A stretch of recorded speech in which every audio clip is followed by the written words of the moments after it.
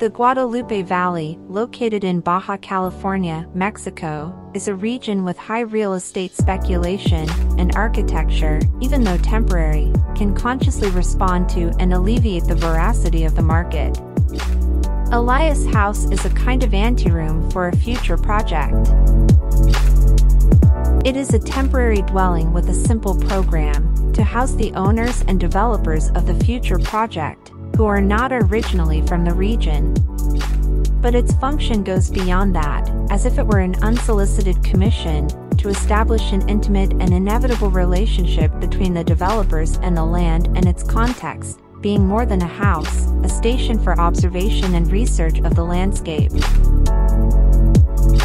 The house was built on the highest point of one of the three hills that make up the project area, on an elevated structure supported by piles, providing a panoramic view and leaving the land almost untouched for future construction.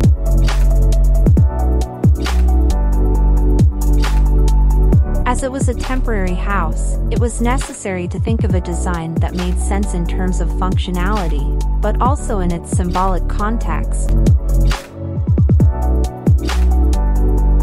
The house was built with prefabricated and transportable structures of old classrooms. Each classroom is composed of two equivalent sections of a mobile home, which need to be separated into two parts to be transported and then reassembled on site. The sections were joined at a 90 degree angle, creating a contemplation terrace between the two bodies.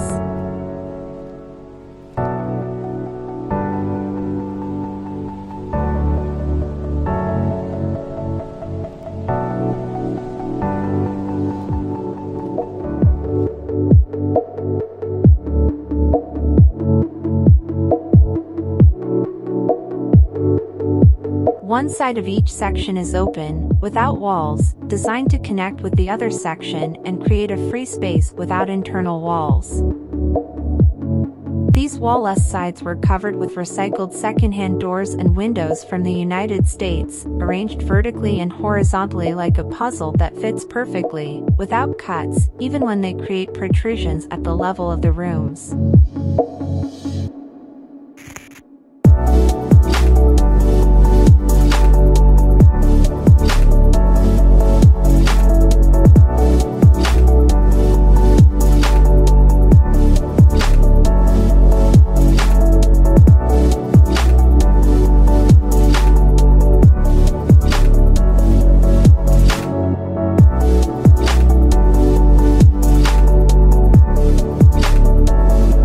Windows and doors that rise above the roof level provide shade to the terrace, making it habitable, dynamic, and protecting it from the sun.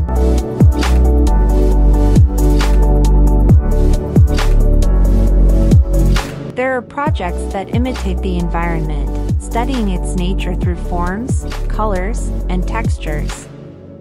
Other projects hide, revealing sensitivity towards the land. Rising above the ground and touching only what is necessary is an act of respect for nature, but it can also be a subtle aggression to the landscape in the eyes of the beholder. There are also projects that sustain themselves through their meaning, through their close relationship with contextual phenomena, such as seasonal migration or the transient aesthetics of another country, which naturally dissolve into the everyday panorama.